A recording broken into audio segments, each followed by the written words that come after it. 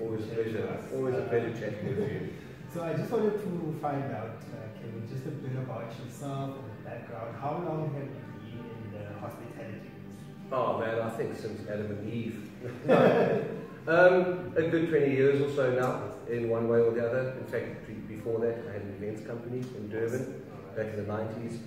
So it's always been a passion of mine. Um, the proverbial people's person. Uh, not only myself, my wife. And um, um, over the years, have run various establishments, both in within the hospitality industry, hotels, restaurants, etc., etc., from fine dining, and in varieties of places around the country. So, you know, come with a wealth of experience. and knowledge as well. Okay. Yeah, you know, you gain the knowledge on the way. Okay. Now, I'm sure, Kevin, you've never had to experience something like what we are going yeah. especially in your industry. Um, what are your thoughts on that?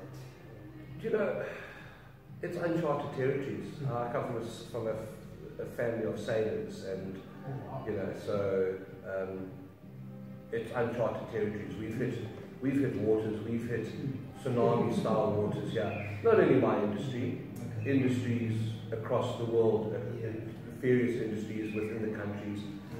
Um, but the hospitality industry in particular has been absolutely decimated by it. Um, and there's, yeah, you know, we have, um, I think, for me personally, um, how things have been handled or haven't been handled has, has led to the almost collapse within this country. Now, to, to touch on that, I remember the last time we had a chat, yeah. You said that it was more of government's response to the pandemic than the pandemic itself. Yeah. Um, you know, I, am not, this is not a time for us to be uh, blaming institutions or governments, etc. But at the same time, um, you know, if we just rewind back to what happened yes. and what the government's response was, the government has never dealt with this type of pandemic. Oh, yeah. You know, so we need to be mindful of that. We need to be very mindful that various governments had different approaches. However, therein lies the problem.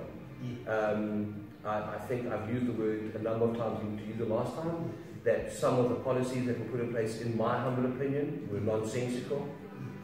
This time last year, we weren't allowed to buy t-shirts, we weren't allowed to buy flip-flops, um, we weren't allowed out of our places, and then eventually we were, we all had to go out between 8 and 9 o'clock, and then all mass walked around the place. We weren't allowed onto beaches, but you could stand on the promenade looking at the beach. Um, you know, restaurants were closed. Um, we understand that in the hospitality industry, um, there is large people, large groups of people who don't know each other, interacting with each other, coming for suppers, etc. Mm.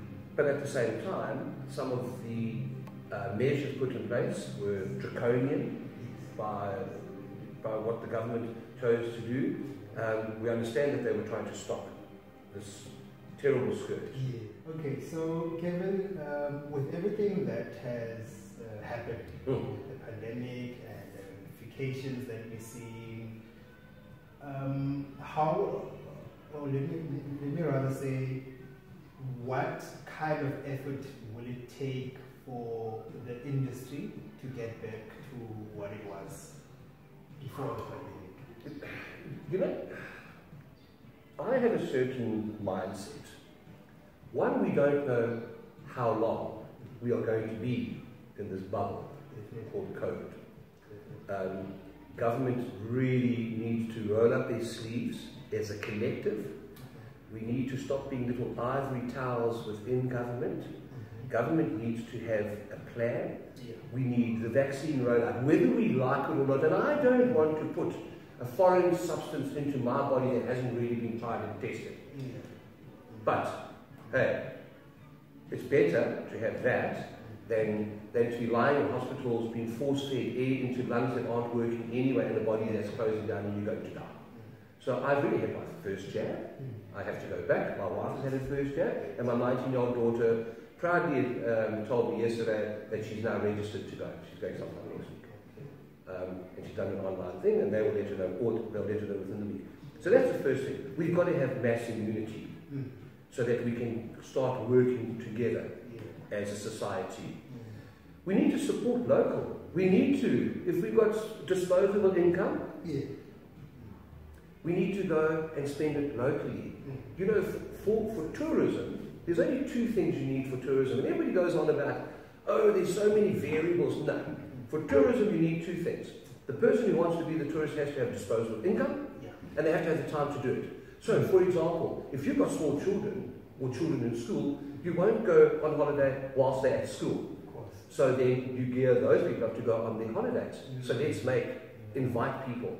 Let's get the Eastern Cape. They're doing a marvelous job on promoting the place. Yeah.